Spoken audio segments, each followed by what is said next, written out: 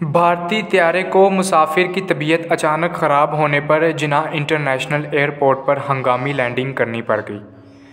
बैकस्ट्रीम media के मुताबिक, भारतीय निजी फ़जाई कंपनी इंडिगो की परवाज़ six E one four one two Sharjah से लखनऊ जा रही थी कि दुरान परवाज़ एक मुसाफिर की तबीयत ख़राब हो गई।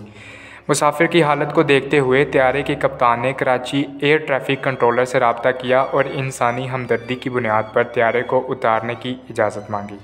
पाकिस्तानी एयर ट्रैफ़िक कंट्रोलर हुकाम ने इंसानी हमदर्दी की बुनियाद पर त्यारे को हंगामी लैंडिंग की इजाज़त दी, ताहम मुसाफिर को बचाया ना जा सका। कराची एयरपोर्ट हुकाम का कहना है कि हबीबुल रहमान नामी जिस भारतीय मुसाफिर के लिए त्यारे ने हंगामी लैंडिंग की, वो त्यारे में ही खाली के हकीकी से जा मिला। डॉक्टरों की जानब से मौत की तस्दीक, दस्तावेजी कार्रवाई और ज़रूरी इकदाम के बाद भारतीय त्यारा कराची से भारत शहर अहमदाबाद की जानब रवाना हो गया। व्यूवर्स आपको मज़ीद बताते चलें कि इससे कुछ दिन कबल भी एक भारतीय एयर एंबुलेंस की पाकिस्तान के दारकूमत इस्लामाबाद में हंगामी लैंडिंग करवाई गई थी, जो कि पाकिस्तान की जानब से एक मुस्बत रवैया था। व्यूवर्स आपकी मालूम में मज़ीद तर इजाफ़ा करता चलूँ कि कुछ साल कबल भी एक भारतीय त्यारे की कराची एयरपोर्ट पर हंगामी लैंडिंग करवाई गई थी, जिसको इंडियन मीडिया ने भी बहुत सराहा था।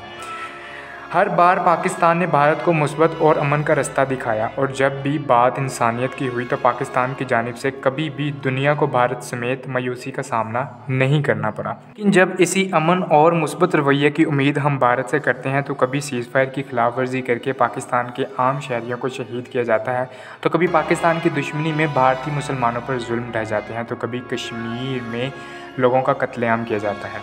इंसानियत के नाते अल्लाह ताला हमें अमन और इस्तकाम की तफीक दे। व्यूवर्स, आप सब दोस्तों से दरख्वास्त है कि मेरे चैनल को सब्सक्राइब कर लें और साथ ही बने बेल आइकन पर भी क्लिक कर लें ताकि हर वीडियो बर वक्त आप तक पहुँच सके।